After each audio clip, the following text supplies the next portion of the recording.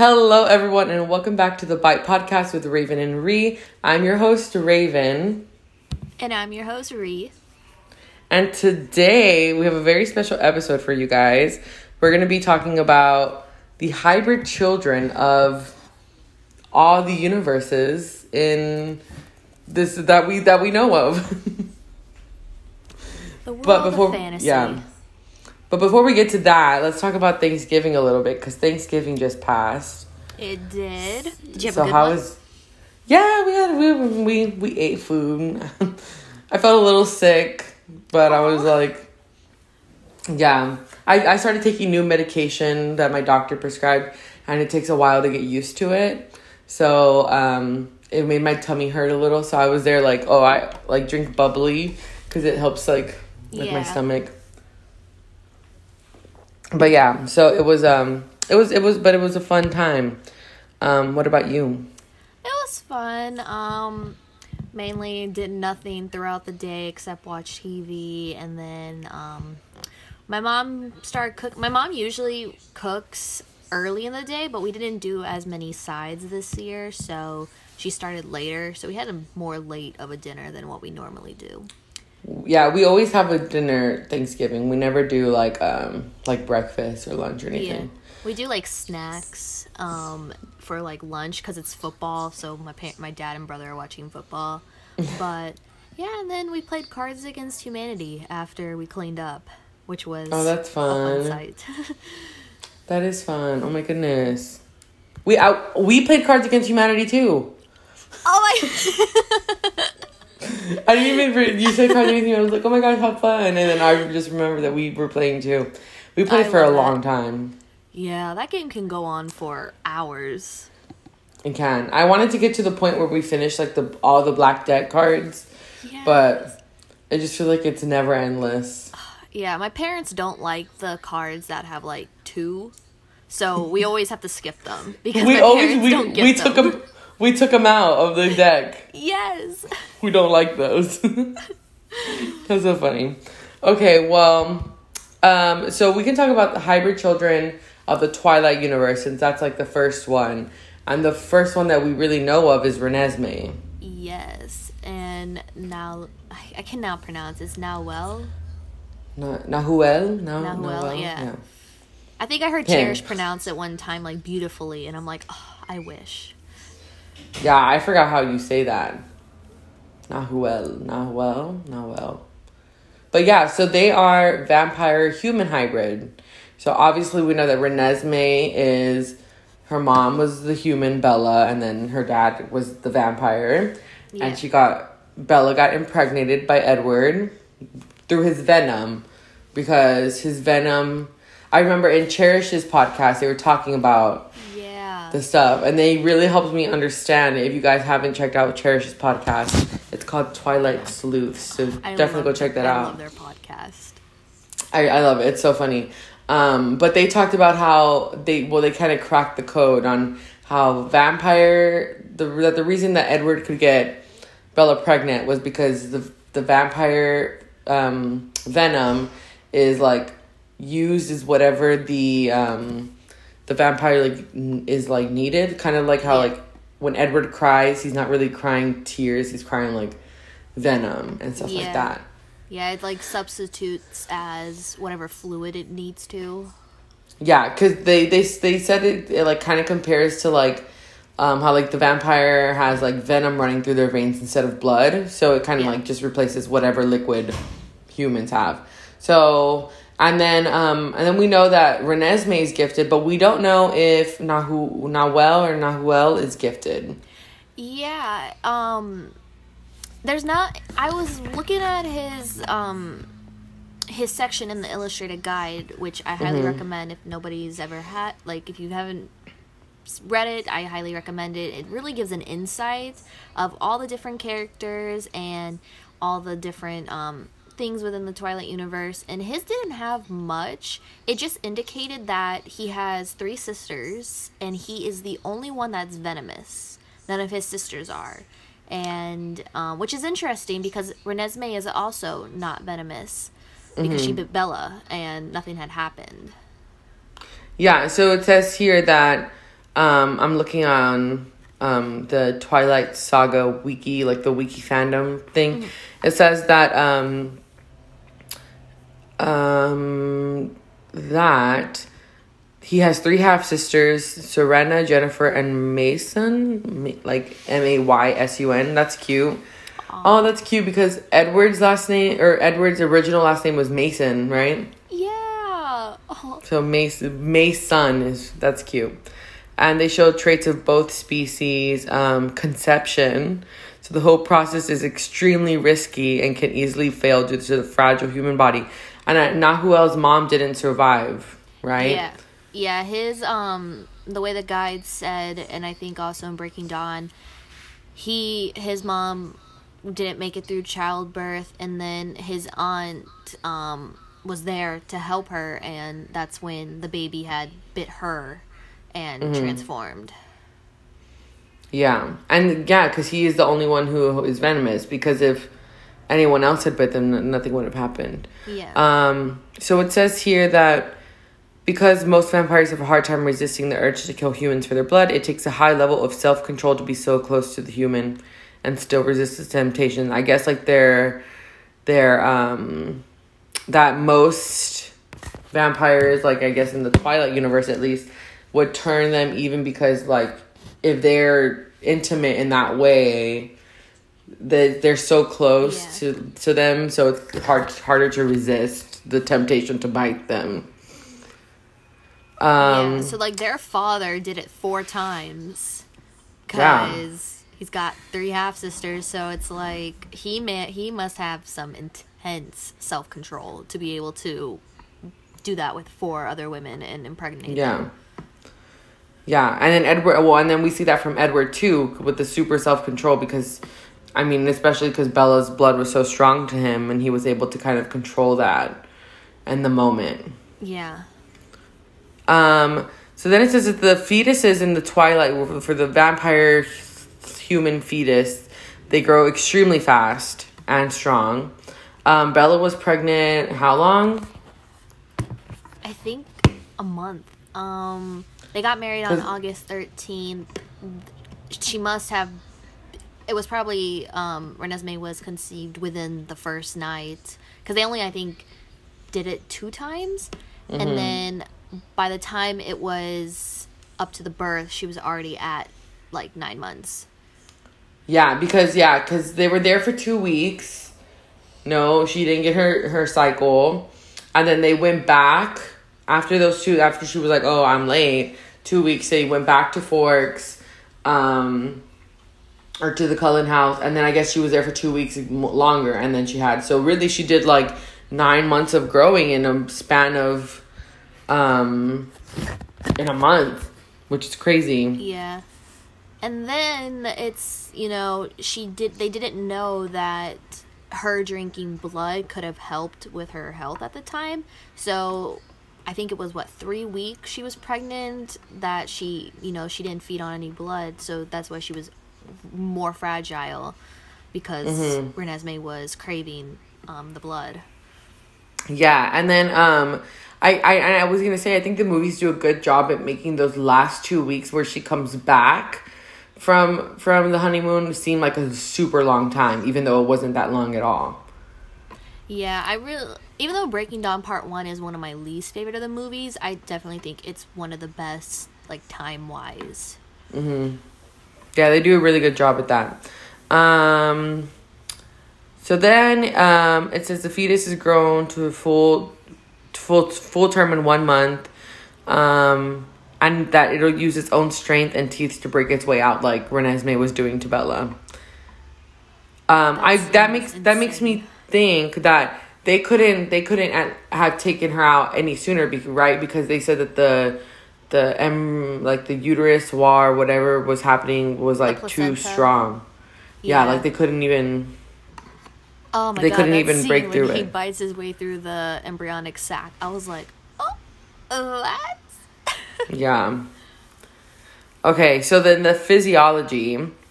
It says that they have both human vampire traits. We know that a Renesmee can survive off of food and vampire blood. Like there's no. Yeah, she. She's got um her mom's eyes, and then I think she's got like a combination of their hair because she has like Bella's kind of brownish hair, but it has like the reddish tint that Edward Mm-hmm. has. Yeah.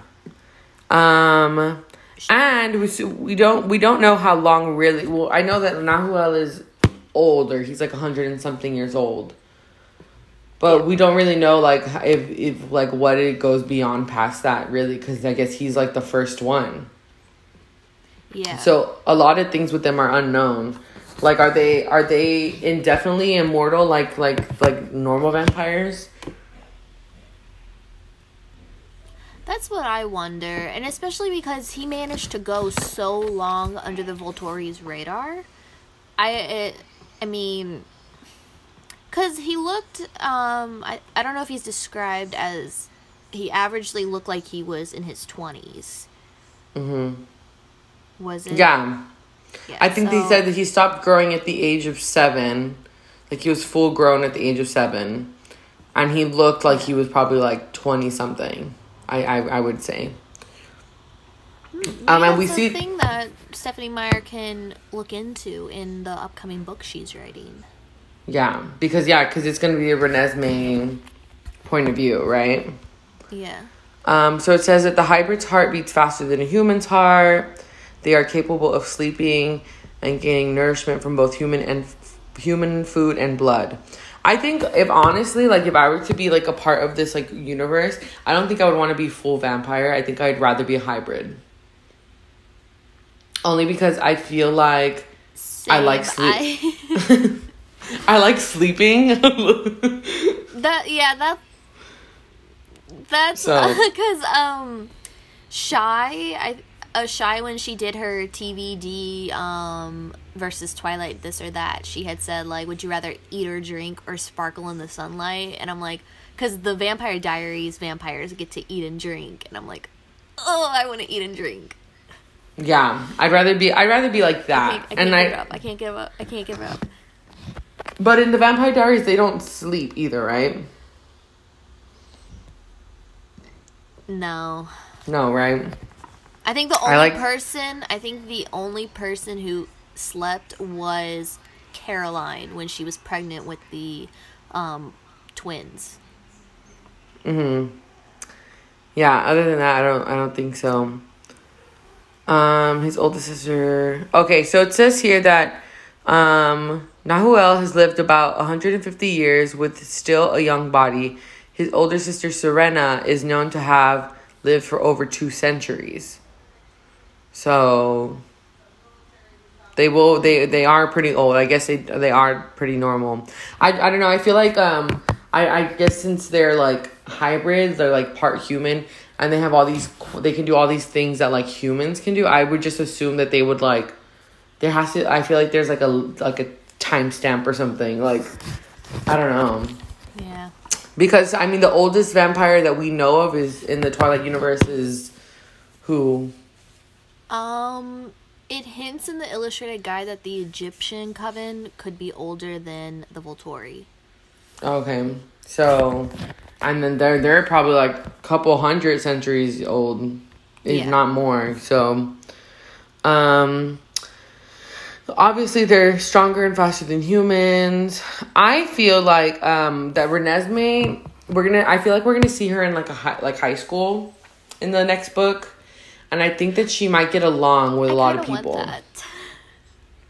I want to see. I want to see high school Renesmee. She just has that essence. She does.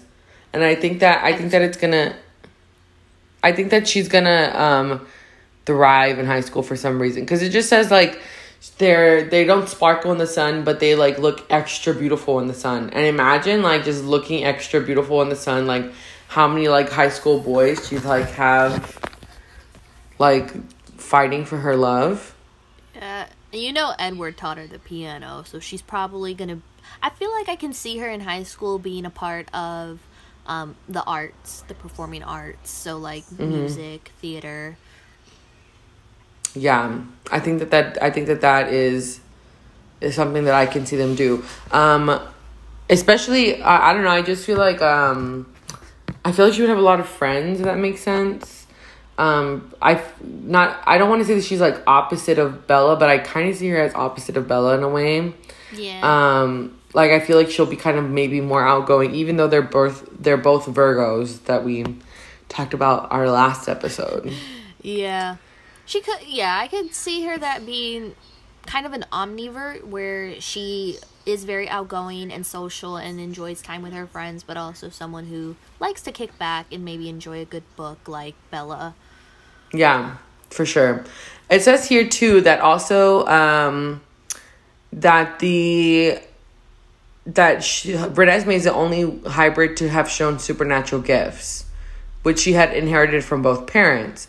So that makes me wonder um, if we ha- I know we had talked about oh and actually no we didn't talk about Cherish talked about I think the supernatural gifts being inherited possibly Yeah. So you've read Midnight Sun, right?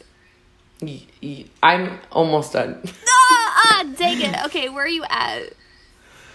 Uh, I'm like way more than halfway. I don't even know where my book's at. To oh, it's like way up there. But Oh. you can you can tell me because my friend has talked to me about About, it? things. Yeah. Okay, so this is kind of a mini spoiler. Um, so as we know, Midnight Sun is from Edward's point of view, and he can read everyone's thoughts but Bella's. Well, when the when he first met Charlie, he noticed how his thoughts were kind of off. Whereas Bella's, he couldn't hear any thoughts. With Charlie, it was kind of it was it was a it was I forget how he describes it, but he kind of said that Charlie had these thoughts where he couldn't really pick up on them. Like he could Oh, like it was like radio signals. I remember. yeah. And then so and then with Renee, how Renee was someone who um can like when he he felt that with Renee after during the hospital scene after the incident with James, Renee was very kind of, you know, in distraught with Bella and he could see how her emotions affected the people around her to where it brought them toward her and like wanted to help her. And he, so he felt that Renee probably had a similar gift to Jasper's, but different in a way where um, sh if she would have been a vampire, she could easily manipulate people's like um, emotions to do what like in order to benefit her. And um, and then with Oh, that Charlie would be that- that would be a cool gift. yeah, and then with Charlie, how he couldn't hear um, his thoughts so much as to Bella's, he kind of, it's kind of hinted that Charlie could have been a sh- possible shield, which is why Bella's is so strong because she inherited it. And then we see with Renesmee, her powers are the opposite of both of her parents, That is yeah. which Because she can Oh my god, I remember I did a TikTok on that because so many people were um, commenting on my one video that went viral where I was showing this ending scene because um, I had said that Bella dropped her shield, which is how it's described in the book, how she she mm-hmm. pushes it away. She describes as pushing it away, how she was removing it in order for him to read her mind. But everybody in my comments were kind of like, "I'm pretty sure she's projecting," it. and I'm like, oh, "She cannot project her thoughts." Her Yeah, no, mind- it's not- Her mind is so strong, and so I had to like explain the difference between because they were thinking that Bella and Renesmee had the same power, and I was like, no, it's the No. opposite. Yeah, it is because Bella can let her guard, like let her shield down, but Renesmee can project like things that she's seen and thoughts and stuff like that. Yeah, I find it So- really cool how Renesmee's power is the opposite of both of her parents. Yeah, because they're both they're both. Um, not that Edwards is like guarded, but it's like kind of like in his head type of thing. Yeah. Whereas like Ren- Renesmee's is like out, like projecting outward. Yeah. Um, so I was gonna say that um, that it makes sense for Renesmee to have powers because both of her parents are extremely gifted and like have have powers, and then um that then that just says that maybe um Nahuel's and and his and his sisters his dad is not like gifted yeah. um and I guess like maybe his parents just weren't either or his his mom their their parents their Yeah. moms.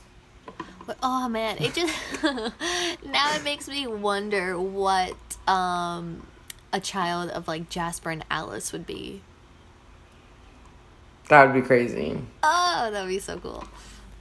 If only, if only the vampires could have babies still. I know. Ugh, I wish.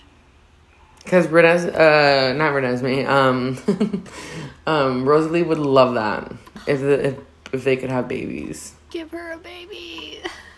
Emmett would be such a great dad. He would. He'd be so silly and funny and iconic. Um, and then so then uh, that's why I would I we talked about it previously in a couple episodes ago that for sure that the Volturi would be trying to create their own hybrid children. Oh yeah, I definitely they- see Aro using it to his advantage because he's he, we when we talked about you know in Zodiacs how his what did we say he was? He was what an Aquarius or he was I something. what- He was. I forgot. I know. Oh, uh, huh? what is what is Carly? She's an Aquarius. Yes, that was that's what we it said he was. was an Aquarius. Shout out to Carly. We love you. No hate on Aquariuses. Um, but um, Aro would be someone who would use that new gifted knowledge to his advantage. And I definitely think he would make his gifted vampires do it. So, like Demetri. Felix Mm-hmm. has hella strength. So, I don't know. I don't know if they would want to do it with Felix. I think if maybe they found like a mom who was like who had like some crazy power, like something that was like stronger than I guess what Felix would be, um that it would be cool cuz it would be cool to see if maybe like his gift of being extremely strong would make the babies come out like with their whatever their mother's power is, but like extra like extra. Yeah. So that's Af- I think okay. Santiago doesn't have a mate. Afton is the mate of Chelsea, and he has the gift of invis. That ooh, I wonder what would have been like if Chelsea and Afton had a baby because he can like mentally and make him invisible to people, and then she has the influence on emotional ties. Whoa, um, I feel like that would be something crazy. Well, see, and then also, I feel like if Carlisle and Esme had a baby, their baby would just be like super extra compassionate, like the Oh, sweetest the baby sweet- ever. The sweetest. That oh. I feel, and then I feel like Rosalie and Emmett's baby would just be like a crackhead. yes. Oh my gosh! I, if they had a son, would be carbon copy of Emmett, and then I could see the daughter having like still a bit of silliness like Emmett, but also very serious like her mom. hmm Jasper and Alice's child would be I, I, I can't see their child not being 100% Alice because her energy is just so Yeah. radiant that it would pass on. I yeah, I, I can see their child being like those little like like fairies like roaming in the woods and just like frolicking. oh my god i just i just had a weird i just had a weird theory. So say jasper and alice had a child and um, she can see the future and he can manipulate emotions. What if the power was based on the emotions that could deter- determine the outcome of a decision and like she would like you they could see the future of like what the emotion would bring so like if they were ha- if like a situation happened and they were happy then that outcome would happen but then say they got angry because of something and then it's like that would happen Yeah. I don't know. So it's like showing them like um like what their decision in that moment would make. yeah Like what they because what Alice did in in in Breaking Dawn Part 2, she showed Aro a version of what could happen, right? yeah She kind of did she kind of like manipulated that in a little a little bit, right? i was like go alice she knew what she was doing too. because i think stephenie meyer did say that in the time that jasper and alice was away she could have easily um, worked on her power to make it evolve Yeah, I could I could totally see that. Because I mean like how long would it really take for her to find Nahuel? Let's see. He they were And in sh- Brazil. Um Which which in Brazil don't I mean don't the Cullens have ties in Brazil?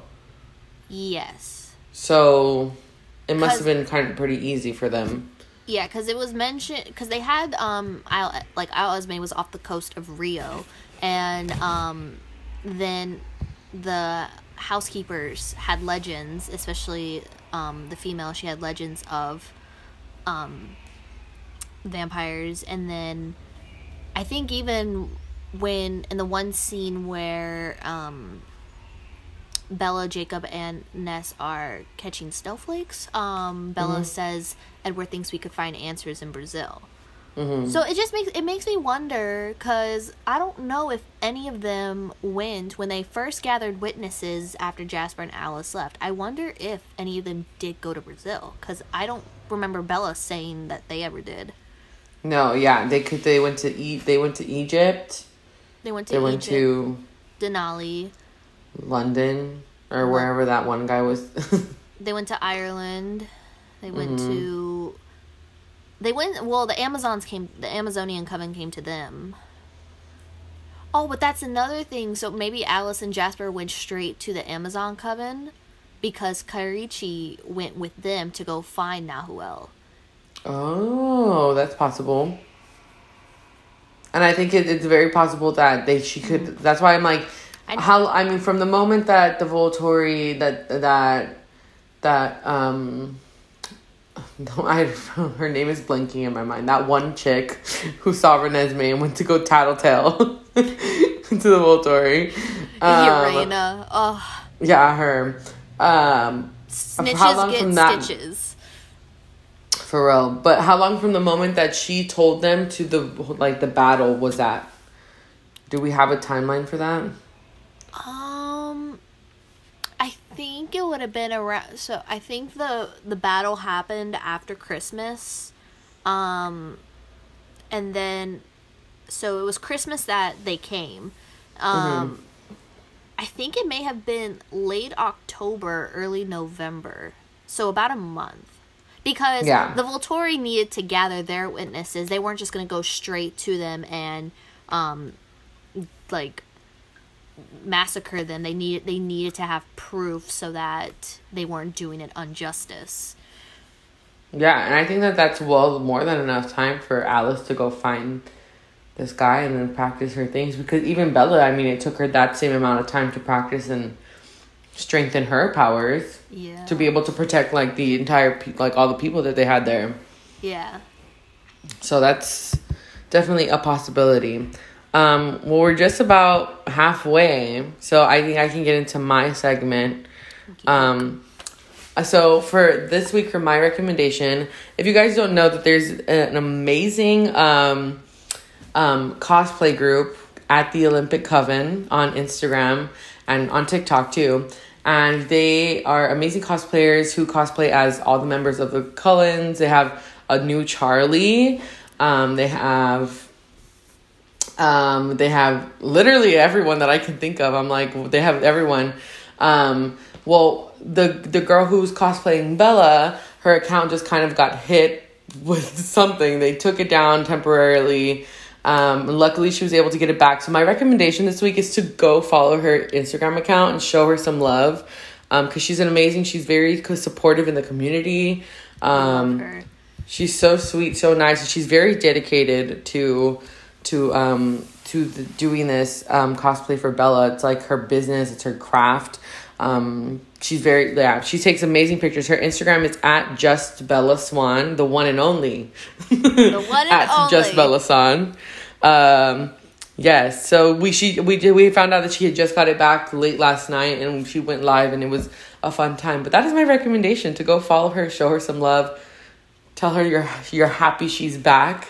Yeah. Um, but yeah, that's it. I love that. I love so her. yeah, she's amazing. She's so nice. She's super cool too. She's so I'm like- funny.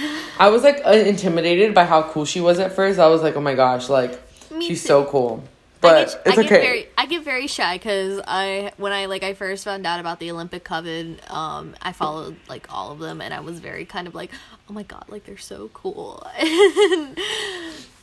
Dude, and then they're they're um like all of their characters I feel are like splitting images of like the of like the actual characters. Like it's so crazy. I I love them all. I would I, I, I, I cannot wait to hopefully meet them next year at Forks. I know that's that's gonna be really fun.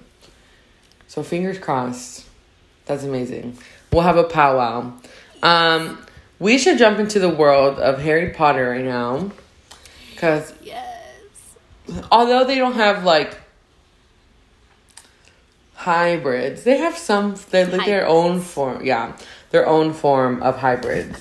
So the what the hybrid that we're talking about are the mug or not the muggles, the mudbloods or that that term.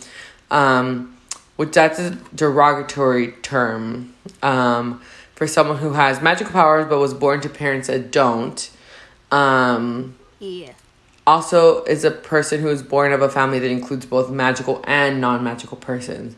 So like Yeah. Harry um like um I guess Harry Potter wouldn't be considered a mudblood, would he? Cuz he most of his He's considered a half blood because Mm-hmm. his mom was a um mudblood. was a mudblood and then his father was a purebred pureblood. I Yeah. almost said bred like a freaking dog. My bad. So, so that's But another yeah. one. So we have we have mudblood and then we have half blood. Yeah. Um so think- those are Go it. ahead. Oh. I said go for it. You go. no, I was just saying that, yeah, that that's what he was. Who were mean, we know that Snape was half blood. Yes. We know, we know that Harry Potter's mom, Lily, was a even mudblood. um even he shall, who shall not be named the Tom Riddle, the Voldemort, was a half blood. That's why he was People all wanna. weird. yeah. Well, well, no, people we know it, but people in the actual universe, like the Death Eaters, don't want to have that conversation. Yeah, no, because I mean, literally, can, in um in Order of Phoenix, they that's like all they were like trying to do was like take away people who are like mudbloods or like muggleborn or whatever. Yeah. Um, something also we have um Squib. Um, he's a person who's born to a witch and wizard, but they don't have any magical powers of their own. yeah. Um, which kind of sucks. I would be so mad to I- be born to to magical Poor- parents. I have no powers. Poor um, what's his name? Um, I forgot his name. The Was guy it that Fletch? groundskeep. was it Fletcher? Oh, look, I have it here. Uh, Argus Filch. Filch. Oh my god, why did I Yeah. say Fletcher? Fake fan over here. Just kidding. Phil. Yeah, when I found that out, I was like, huh. That must be so sad to, you know, be born with two parents who are magical and then not. But I wonder, because he did have magical blood, I wonder if he did have kids that it would pop up later in the bloodline. That's why it makes me wonder if Hermione's family actually did have, like, a, an ancestor who was magical and then a squib was born.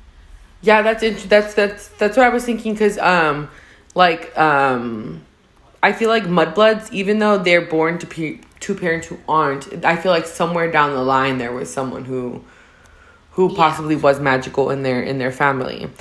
Um, but also, yeah, it says squib is this generally a result of mating outside of the witch wizard bloodline. So that just means like they did it excessively, I guess. But then I wonder if he were to marry and have kids with someone who was of magic, if their kids would be half half blood, Yeah. something like that, right? And then we have all of our half breed people, which are terms applied to someone who was born to parents of different species that can mate to produce viable offspring, like giants and humans. Um, they take generally take properties of both parents and can be magical as well and have powers depending on what their parents were. So some iconic ones that we know of are Hagrid. His father's a human, his mother's a giant. Um, he's sta- he's taller, stronger than most humans, but not as tall or stupid as a giant. Yeah. Because we we meet So- his his half brother in um, Order of the Phoenix. Yeah, and that just makes me is I is um Hagrid's mom stu like since she was a giantess, is she was she also like how the brother was? I don't know. Because in that like the, that that raises some flags. That raises a lot of flags, especially with Hagrid's father. Yeah, that's what I'm like, yeah, that, I don't know. I don't know if we want to get into that combo. I don't know. but food for thought, in case anyone was wondering. J.K. That's Rowling, something to. Pl- J.K. Rowling, explain yourself. For real. I mean, yeah, her. We can. I mean, we can do a whole podcast on her and Stephenie Meyer too. Um, then we have Flitwick. Oh. He. Yeah, I love him. He's so iconic. Um, uh, he had a great grandparent. love him. Yeah, he had a great grandparent that was a goblin, making him shorter than most humans, but also more cunning and clever. And my favorite part is the part um, at the end. Oh my gosh, what part is it? I forgot what movie it was, but something happened. And oh, I think it was when I don't know if oh my gosh, I don't remember what happened, but they're like out in the courtyard area, and then like Flitwick is there, and he goes like, "Yes." Oh, oh that was that was Order of the Phoenix after the Weasley twins set off those fireworks mm-hmm. for Umbridge. Yes, then he was there. He was like, "Yes." I love him so much. Iconic. And then we have Fleur Delacour. So she's actually a half breed. So her great she had a grandparent that was a Veela, yeah. which is similar to a siren of Greek mythology, giving her the ability to enchant the minds of men as well as cast her witch charms, which is interesting because those are, that's why all the boys were all like, oh, over her. Yeah, they um. Ooh, I hit my mic. Oops. Um, yeah, and I think that's why Ginny and Mrs. Weasley didn't like her at first was because they didn't know if she truly loved um, Bill or if she was casting like a spell under him. Yeah, to like love him to, to get him to love her. Yeah. That's oh, that's cool. That that's that's interesting because I mean, we don't really know that, right? mm um, but then that also makes me think because then we have these half breeds. Like, what else can we like? What else can like be half breed in the Harry Potter world? Because there's so many other like yeah. like magical creatures you know? Yeah. I think it's definitely interesting because um unlike with the vampire diaries how they have like the vampire werewolf um hybrid they don't have hybrids with werewolves in harry potter because of the way that um the werewolf like how you become a werewolf is. Like you're not born one you are bitten and turned into one. And mm-hmm because that's how it was with Lupin. And Lupin, when he and Tonks had their child, their child didn't have like he didn't have anything with a werewolf, nothing related, I believe. But he got instead he got his mom's metamorphosis um, power because mm. she was a metamorphosis. So then, um, so then, um, I guess I, I don't really dive into like the like the history of Harry Potter as often as I do about like Twilight, but Sirius was he was not a werewolf. He was a what? Oh, so Sirius Sir um it was Sirius Harry's father um James Potter then there was um Wor- Wormtail um mm-hmm the guy who betrayed Harry's parents, they were yeah. anim- they were animaguses. So basically, they that's a kind of it's a um it's learned um mm.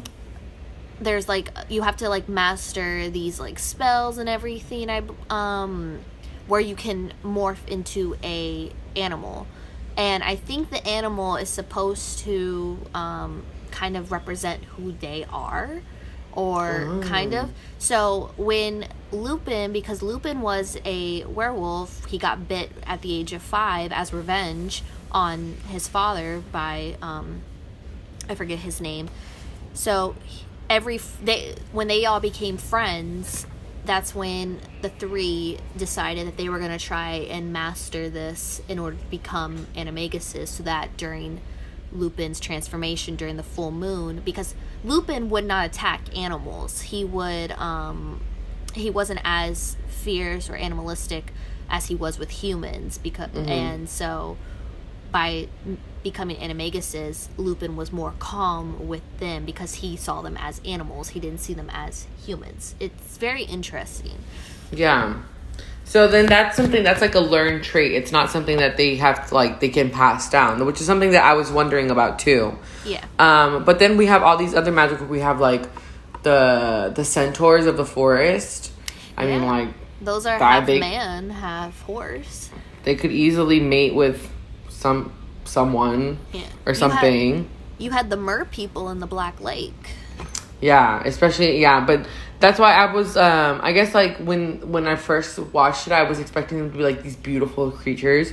But I guess it's more like they're like siren like um The voice. I guess abilities to to like lure them in, right? Yeah. The song. Then we have purebloods, which I want to say at first aren't really like hybrids because it's like you hybrids is like when you mix, but then to me it is kind of a hybrid because you're mixing like a witch and a wizard, you know, Yeah. to make something more more pure. Um, and then that's like just that's just family wizard families that know mixing of blood with people who are not magical. So examples are like the Malfoys and the Weasleys.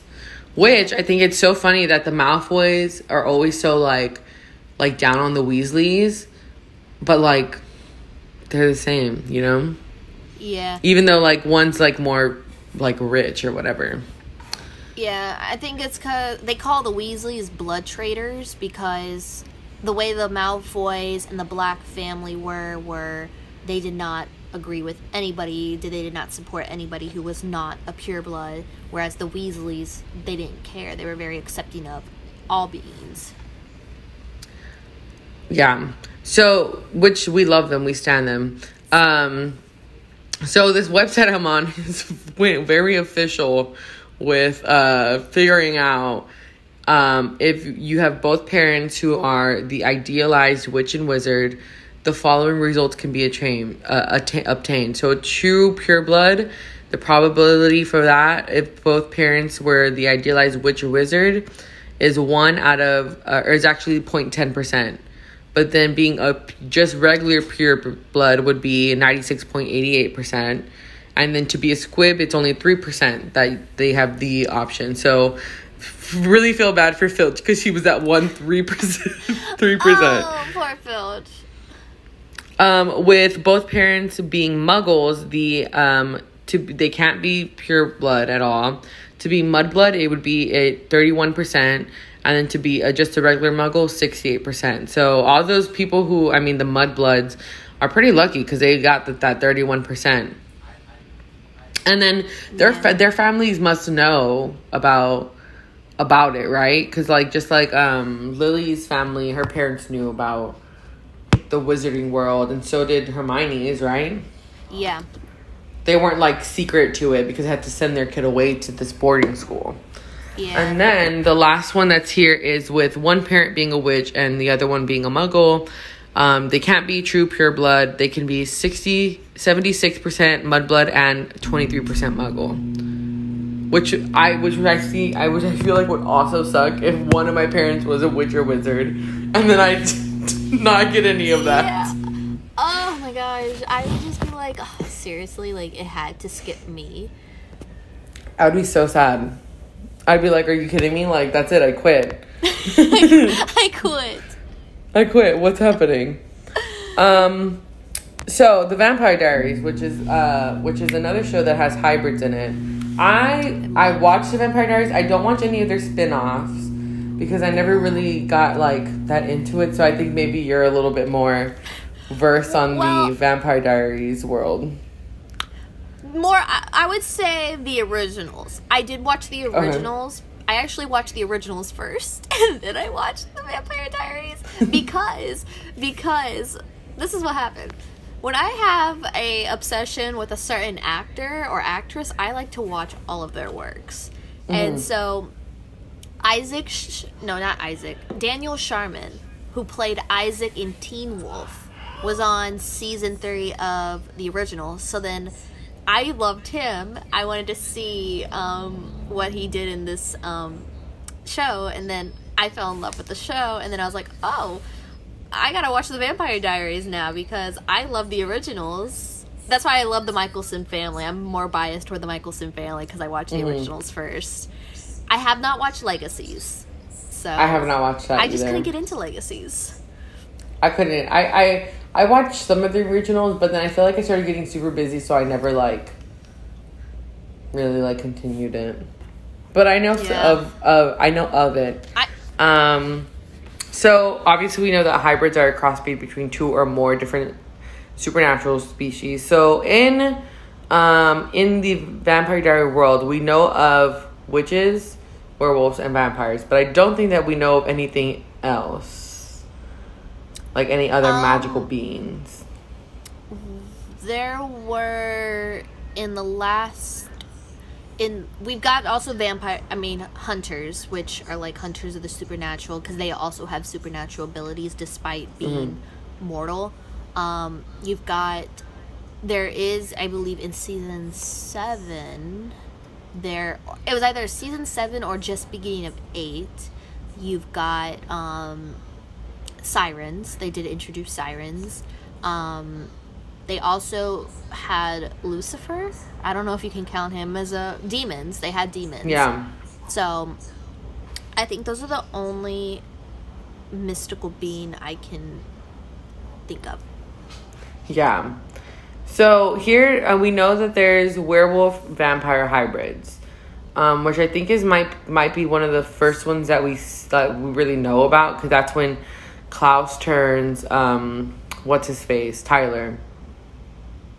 His his blood right is that like the first really instance that we see of that Yeah. so um so by doing that you uh, in Klaus the in the out yeah, that's when. Yeah, that's. I guess was that his like tester to be like, oh hey, like this can happen. Like we'll figure out what Yeah. happens.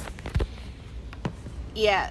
Klaus is considered the first hybrid because um he was when he cuz like um vampire and then when he found out that his father was actually a werewolf that's when he did the spell or whatever to unlock his werewolf gene and become the first hybrid so then Tyler became like his his experiment to figure out if he can Yeah. turn others Yes, and then and then um, so to turn them, you have to feed them your blood and then kill them, Yes. right? So that's what Klaus did. Um, it says that no regular vampire has ever attempted to use their own blood to turn a werewolf into a hybrid. Um, so then, let me see. It says that after a werewolf dies with Klaus Klaus's blood in their system, the transformation will be successful only if the wolf completes his or her transition by drinking the blood of a human doppelganger. So who was that So human? Elena. Elena, yeah. Um, if a werewolf was, turned, because Katherine was already vampire. yeah. So, um, so so far, all the hybrids have been created by Klaus. Is he the only ones who can create hybrids? I think. See, I don't know. I don't know. I can't remember if Hayley ever did create a hybrid. I know. Um, because there's another there's another hybrid species that we'll probably get into um in a bit, but for werewolf vampire, I don't I don't think anybody else did. I think it's only Klaus. Yeah, good. Well, yeah, because he's do. I remember he he started doing turning people left and right out of like spite, kind of like he was just like killing people and doing his his thing, you know. um, Oh, Klaus. Our I know. So yeah, so Tyler Lockwood was the first. Well, not the first, but the first one turned by Klaus. Um, he's a, he already he was already a werewolf. Um, and then he and then that's when and he turned him. Um, then we, so let me see, let me scroll because this website has like tons of stuff on the Vampire Diaries.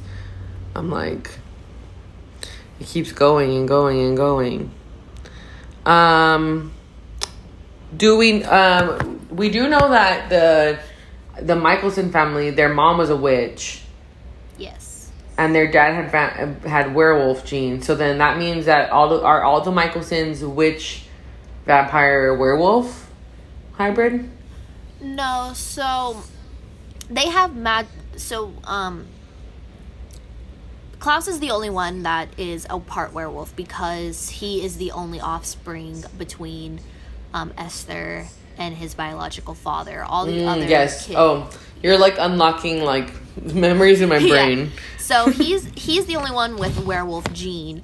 They do they don't they're not um they would have been witches basically because um what happened was Esther was a witch and when she had her kids they all would have inherited a magical gene but they would had to have unlocked it. So like Kol, I think Kol and Freya. Freya was um, raised by her sister, um, but Kol was able to actually had shown interest in learning magic and practicing it. So Kol, when he was when they were human, Kol had been able to become like a wit like a witch wizard. But when Esther, after their one son had died and she didn't want to lose any more kids, that's when she turned them into vampires. But by doing mm-hmm. that, it took out all being able of them wanting to be witches.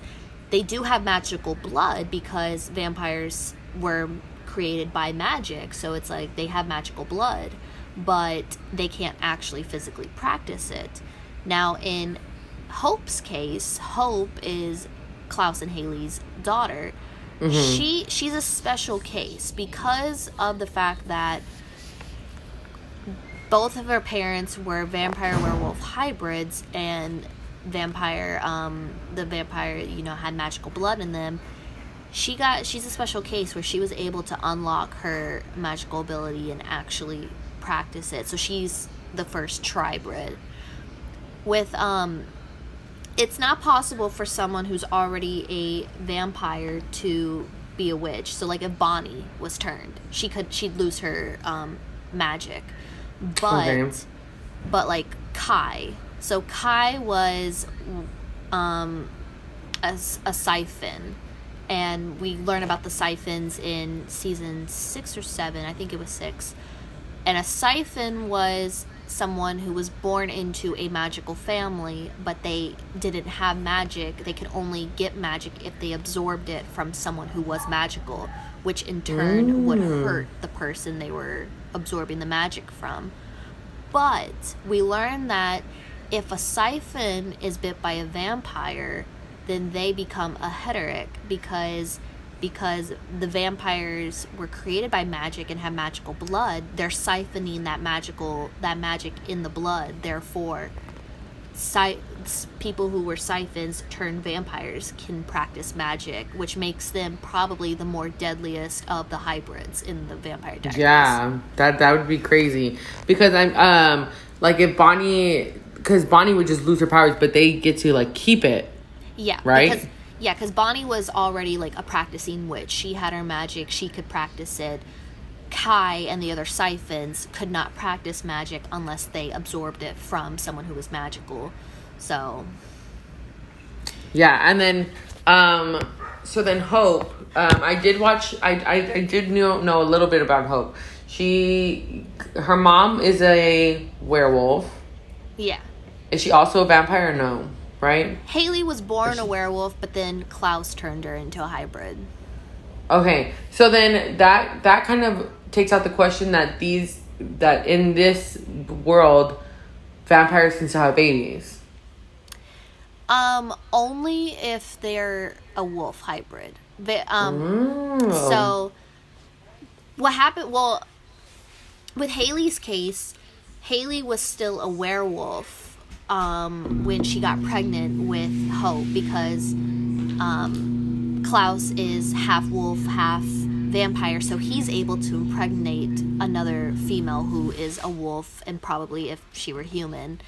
So Hayley, um, being that she was a wolf, they were able to conceive hope but she died during childbirth. She was kind of actually murdered during it with the whole witches and everything but klaus had fed her his blood and then so she yeah, so she, she she, she turned into it I feel like I need to. I feel like I need to restart um, the vamp, the whole Vampire Diary stuff, because I feel like I'm like.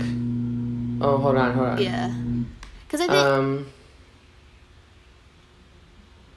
Hold on. On my computer's my p- computer's giving me a. A warning. Uh, my computer's giving me a warning. Oh, there we go. Yeah, it's like uh, your computer's about to restart, and I'm like, mm, that would not be cool. Uh, but I think it said like in like an hour, um, so I think we're good. But um, I yeah, if I was saying, I feel like I need to restart rewatching all the Vampire Diaries stuff because I feel like I'm so out of the loop on it. So much has happened. I think I feel like yeah. so. I need, I Um, need to re-watch it too. So, um, I I've never really watched True Blood. I've watched some of it. Like I'm not like really like that into True Blood because when I guess when it was out, it was like a little too graphic, right? But they also have like they have a fairy vampire hybrid. It says I've never se- watched the show either, but that sounds interesting. So their powers are they have extendable fangs. Um they have enhanced healing factor, human superhuman endurance, superhuman strength, superhuman senses, superhuman speed, glamoring, telep- telepathy, photokinesis, um, teleportation, portal creation, flight, and daywalking. That's the fairy vampire hybrid in True Blood. Ooh. I think True Blood's on what Hulu. It might be. I might have to check it out. I wasn't allowed to watch it when I was young because graphic. But Yeah, me either. now that I'm older, Um, so it says here that um, for centuries in the True Blood world, it was thought that such a combination could not exist, and the main reason is that vampires find fairy blood so delicious that they would be unable to stop themselves from killing the fairy before they could complete the turning. So yeah, but it happened. oh,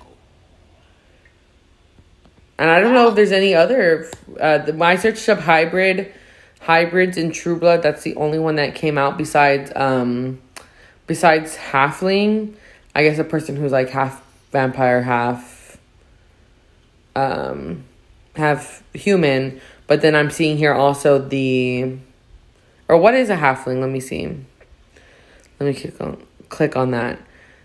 Oh no, actually the half the halfling would be the half fairy, half human, or in half fairy, half vampire. yeah. So they don't have half it. The human half human thing is not not a thing in the in the True Blood world. They're just like full vampire or fairies and stuff like that. Hmm. I might have to Possibly. If there's any True Blood fans watching and we're like completely wrong, I'm so sorry. I think Liz is Liz. Um, Help us out. Liz, if you're listening, if you're watching this, can you give us 101 on True Blood? Please. Um, but other than that, are there any other hybrid hybrids that we didn't get to that you can think of? Um, in Percy Jackson, you have demigods. So yes, Percy. Jackson. That was the one thing. So, um, I I love Percy Jackson, but I'm also like not. I guess you're the true. You're the the Vampire Diaries and the Percy Jackson, and I'm like Twilight and some Harry Potter. I I haven't read. I I need to reread Percy Jackson. I haven't read those books in a long time. I'm so excited for the live action show that they're gonna do because after we're not gonna talk about that movie. I so of of course you got the demigod, so half god, half human, where um one of the gods impregnated a well either the god male god impregnated the human or the female god was impregnated by a human male.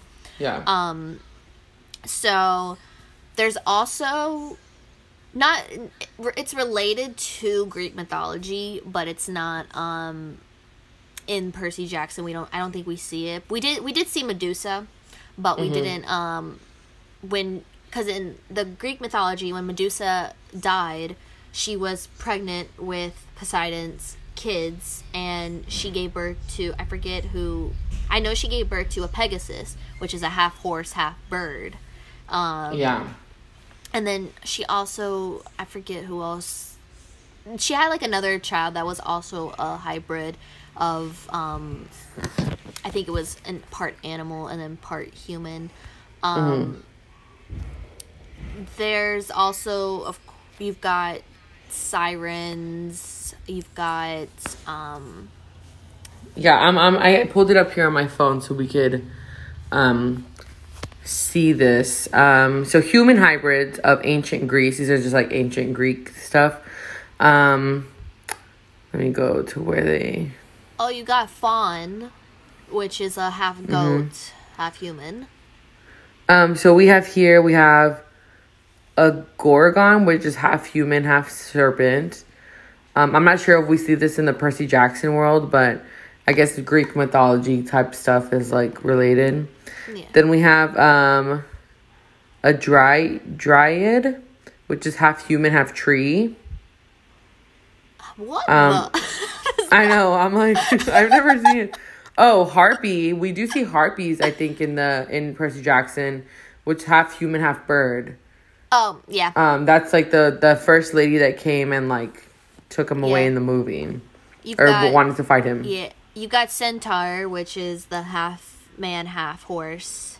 Yes, and then we have the Minotaur, which is the half human uh, bull, which is the one that came to like attack Percy to right before he got to the camp. Yeah. We have a. Uh, I'm not sure if we see this. Oh, I feel like I remember seeing it somewhere, but it's a half human, half snake. Ooh. Like half the body is a, a, a human, and the other one's a snake. Um, we have a, a satyr, I think so. Half human goat is what you were talking about, right? Yeah. Um, which is like Percy Jackson's like best friend. That's his like he's a satyr, right? Yeah. And we also see that in The Lion, the Witch, and the Wardrobe. Oh, I love Narnia. I love Narnia, but I feel like he's the only one that we really see that's like in and that in that movie, The Lion, the Witch, and the Wardrobe. He's the only half human, half goat person that I've seen. yeah. Then we have a Sphinx, which is human, a lion, and an eagle. Um, I don't think we see it in Percy Jackson, but I, in you know mythology, we see that. Yeah. And then obviously the siren, which we had said earlier, which is a human slash fish, but really just like a mermaid, Yeah. right? Yeah. They just a prettier name for it. So that's like the Greek mythology. Um, Greek mythologies. Let me see if I put hybrids in Percy Jackson. It's pretty much the same. I a lot of them are like the same, but yeah. let's see if they have any. Um, oh, I think this is the this is on Wattpad. Oh, someone did a someone did a a fanfic of Percy Jackson being a vampire werewolf hybrid. Ooh. I oh my god, I love fan fiction. I love what people come up with. Oh, okay. So this is going away. This is just going away from the um. Going away from Percy Jackson real quick because I just thought of another hybrid. This is in my book series Fallen, which is about fallen angels. So they have um. I think let me look it up. I forget what they're called, but they do have in like the second book they introduce the school which has people who have angel blood so like they're part angel part human some of them are half angel half human or they're like descendants of an angel who mated with a human and then they have angel blood in them Mm. Well, um, angels. I feel like there was something I watched where they were angels. I'm like, where did I watch something where they were? It was about angels, and it was like that. I don't know. I feel like I'm. Oh, maybe I'm. It's called a nephilim ne- neph- nephilim i think they also call it in other um fantasies it's just i, I can't say it that well but it's ha- it's like part angel half angel Nel Nelphine. So, um, do, does like the half human, half angel? Are they like less powerful than the, like if someone were like a full angel? Yeah. Um cuz I think so like um in Fallen in the second book where she's at the academy where that has cuz like the the academy to like not make it look suspicious, it also has people who are human attending the school, but they're separated from the people who are like have angel blood. So those the people who are Nephilim, they kind of have like they don't have wings, but they have um it's like they they're they're very, you know, beautiful, they're charismatic. They have the characteristics, they just don't have um like the powers cuz mm-hmm. um some angels, I think cuz like in Fallen and not I don't know if it's in Fallen, but um in Hush Hush, the angels have the ability to like manipulate the mind and like read thoughts. So mm-hmm. the it's different in all different literature of angels, but in Fallen they don't um they don't have those powers, but they are very intelligent, charismatic, and um beautiful. Yeah. Wow. I feel I, I really need to read that book. I need to get it, but I'm trying to like I have like a bookshelf of books that I need to finish reading that I'm like I can't even get to. Um, I was gonna say that um, with all this talk today, I've been like thinking about um, like in Harry Potter, we have wizards and werewolves, but we don't we don't really hear about vampires. And then in Twilight, we have like werewolves and vampires, but we never really hear about witches or stuff like that. Yeah. So it just makes me think about like in these worlds like where i'm obviously the, the the authors are people who like create them and kind of come up with the rules but i wonder just like in either world like what other like uh, supernatural beings besides the ones that we already know of like are possible because like in harry potter it's literally like every single one except for vampires. Yeah. and then in like twilight it's literally just vampires and werewolves that we know of. Yeah. It just makes me think about what like the possibilities that the that that we could like is are we just living in a vampire like werewolf world? Like that makes like that makes it a little hard to believe. Yeah. I i don't know. That's like like i don't know not that it's like boring just to have like werewolves and vampires but i feel like if you're gonna have werewolves and vampires like there has to be something else you know yeah that huh because kind of like in in um in Harry Potter, like they don't have vampires, but they have literally every other single creature that you could think of. Yeah. and then in the Vampire Diaries, they have witches, werewolves, and and and vampires. Yeah. And, and hunters. Like, they added this extra little. Yeah, and then with like Fallen and Hush Hush, it's just strictly angels, like angels yeah. and demons, because it's more um, because th- those are more rooted in Christianity and mm-hmm. the whereas we don't really see that in like you I don't there have been some I think works that have involved angels with other um fan like fantasy species but the like the two that I'm I've been reading is just strictly limited to that cuz Yeah, I would just I would just love to see a book where like there was literally like every single supernatural being ever you could think of was actually real and they all coexisted in this world with humans and like they knew about each other you know? I, yeah i kind of if i can get my brain in going and actually write books because i have all of these ideas i would probably want to have a book like that well i me me and my friend started writing a book a couple um, years ago and it's similar to that but then we kind of stopped. And I was like recently like I was like I really want to start writing again. Cause really we didn't we didn't even get into the writing process. We got we were like all in the planning process. Because yeah. I'm the type of person who can't just like sit down and write. Like I need to have things planned out. Oh yeah. Because what if I get to a part in the book and I'm like, oh my gosh, like I have to explain this and how am I gonna explain it? You know? Yeah. I so. I like because I've I've done fan fiction in the past gonna admit. Yeah. And so I would, especially like with whatever it was, I would do a lot of research on um, what I was like doing, especially especially with something like this, if fantasy. If I was if I was to write a book about angels, I would have to definitely like read history about angels and the roots in order to accurately portray. And then same with vampires, try and get like because some you know different legends have it starting different. Some legends different are in ways, Romania. yeah.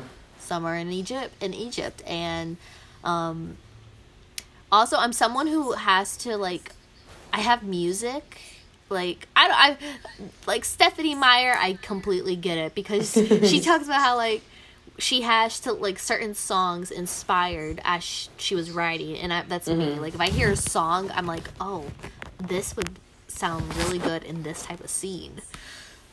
Yeah for real. Well i mean um my friend i don't know if my friend wants to write the book anymore because it was kind of like my idea. Her and i were just kind of like we were in a show together and we were um like just like kind of messing around backstage but we have like lit like a whole like Google document. You could hop on this project too. We'll we'll write a book together. Yo, honestly. Oh, one of the cards I pulled was inspiration. Uh, and honestly, and friendship. Okay.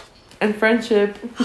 you know, and Neptune is about to end its retrograde cycle, which I am just ready for because Nep for all okay for all y'all who are interested in astrology especially because like we talked about in our last episode um, neptune is the planet of imagination creativity dreams and inspiration. And when isn't when it's in retrograde it just throws everything off. You have like no creative outlet. You have no creative inspiration. And all that and just in a funk and i've definitely been in that the past several several weeks because me too so I'm ready. I think tomorrow, no, today. I think it's actually today that Neptune is not supposed to be in retrograde anymore. And I'm like, oh, please, let me. Thank the universe.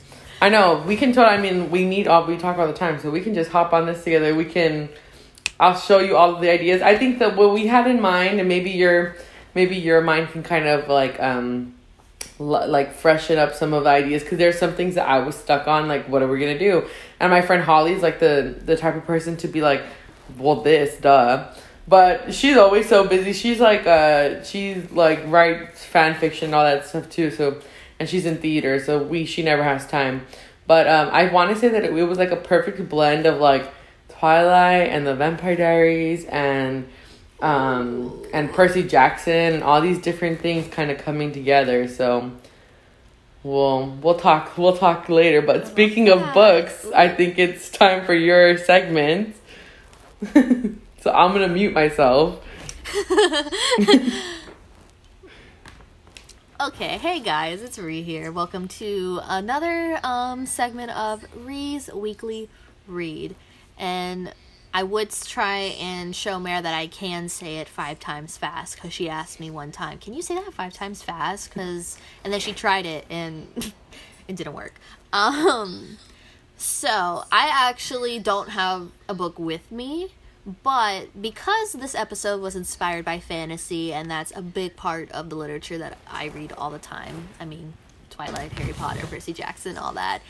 I am gonna say for my weekly read, any book series or that involves fantasy, I would recommend and encourage you guys to read because I mean, it's like TV in your head and you get attached to these characters. I mean, um Hush Hush, Fallen, I've already mentioned those two, Harry Potter, whatever is like your favorite type of fantasy work.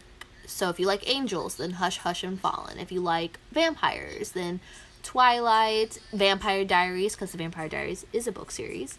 Um, witches, you got Harry Potter. You want demigods, you got, um, or just Greek mythology in general, you got the um, Percy Jackson series. So I would rec. I those are going to be all of my weekly read for this week because read all of them. read all of them. They're all good in their own special way, and um, who knows? You might find yourself leaning more toward one than the other. So. I like books that'll make me cry. yes. Oh my gosh. Okay. I still need to finish Hush Hush. I'm not done yet. Um, but Fallen, that made me cry by the end of it. Harry Potter sobbed. Twilight. Oh, Twilight oh, yeah, got me sure. in that last line. Okay. Even if I have it if I just want to feel like crying, I will flip all the way to the last two pages of Breaking Dawn and read those. Cause it just oh Yeah. So read whatever you like this week. Yes. Um, I have on my bookshelf. I have a plethora of books from like the Cheetah Girls to Fifty Shades of Grey. So.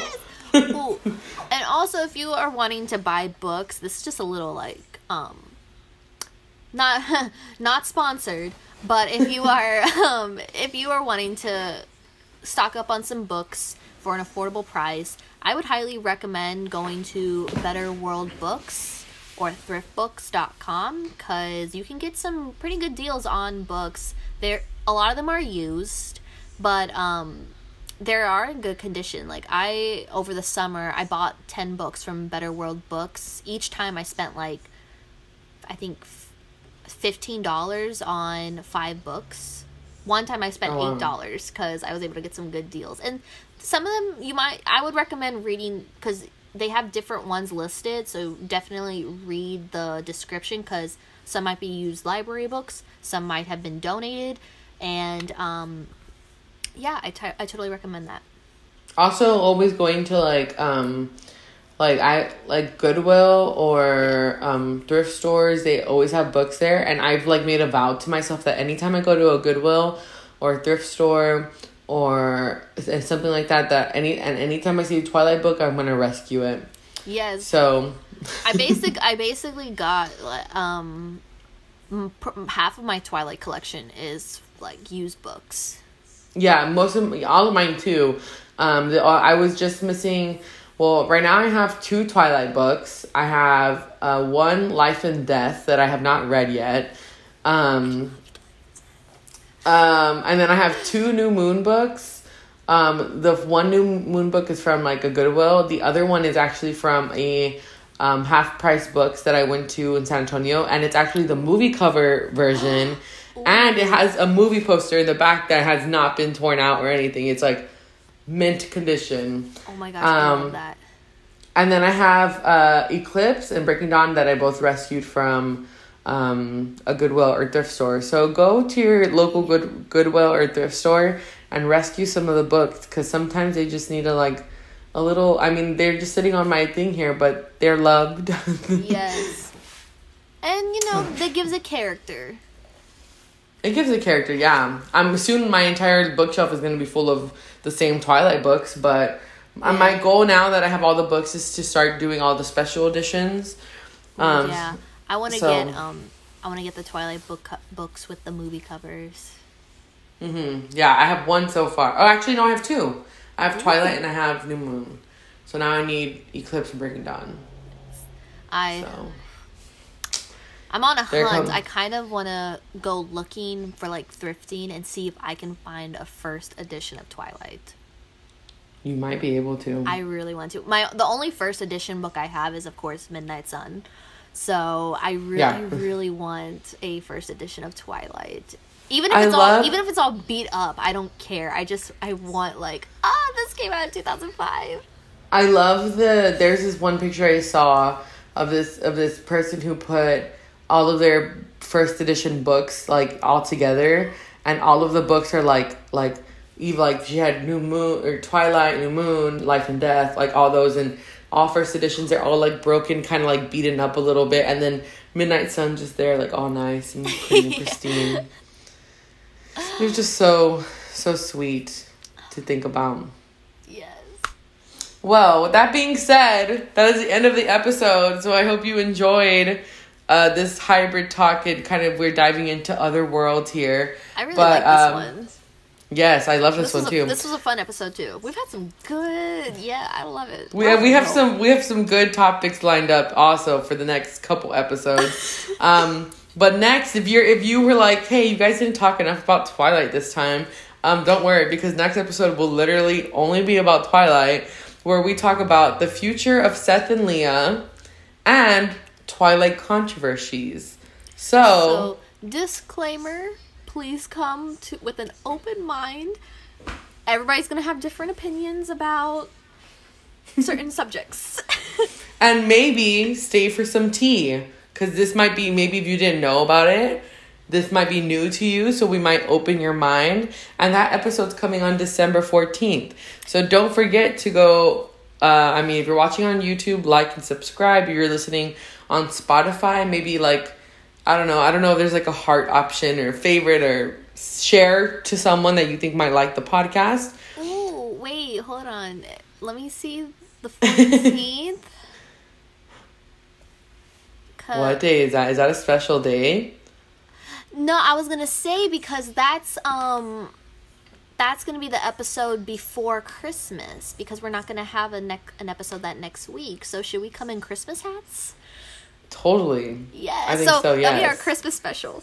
Christmas special. I'm gonna we're gonna send presents to each other and we're gonna open them on camera. Should we do that? Let's let's do it. Whatever. Let's do let's do it. okay, that's happening. so next episode, guys, come wearing your Christmas gear. Uh, and yeah, just we're gonna be all Christmas out. I'll have decorations up. It'll be so much fun. And make sure you guys go follow us on Instagram at the Bite Podcast RR. Um, all of that stuff. Okay.